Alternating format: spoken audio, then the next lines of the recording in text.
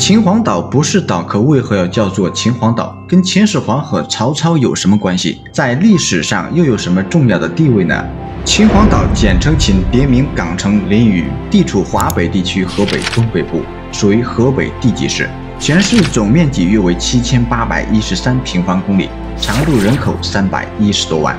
秦皇岛在国人的眼中似乎只是一个沿海旅游城市，但从地理位置上看，却是华北、东北以及西北局部地区重要的出海口。不仅是国家首批沿海开放城市，而且还是我国最大的铝制品生产加工基地，北方最大的粮油加工基地，还有就是汽车上的轮毂也都是大部分产自于这里。秦皇岛位于燕山山脉的最东端，南接唐山，北临辽宁，东靠渤海，而市区就处在燕山与渤海最为狭窄的地方。当然，这个地方就是著名的辽西走廊南端的终点——山海关所在地。从地形上可以很直观地看出来，山海关往南一马平川，山海关以北左边是松岭山，右侧为辽东湾，整个地形犹如一条细长的走廊一样，直至东北的南大门锦州市。所以，秦皇岛的得失在历史上有着至关重要的作用，而且在很大程度上也决定了中原王朝的兴盛与衰亡。秦皇岛是我国北方最为宜居的城市，也是我国唯一进行过奥运会和亚运会的地级市。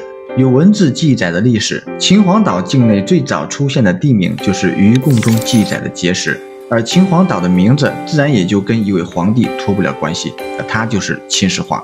在公元前二一五年，秦始皇东巡碣石，寻求长生不老，发现，在海岸的不远处有一座小岛，于是便派人登岛求仙。所以呢，后人也就把这座小岛称作了秦皇岛。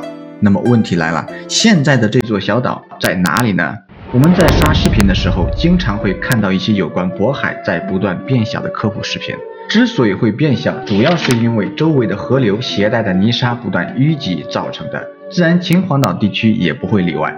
在春秋战国时期，渤海的海岸线要向西后退约几十公里，包括现在的天津与唐山城区都是沿海地带。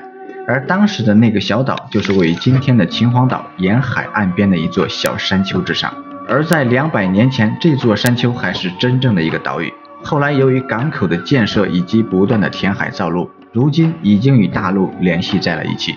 也就是说，秦皇岛本来就是一个岛，只是现在成为了陆地。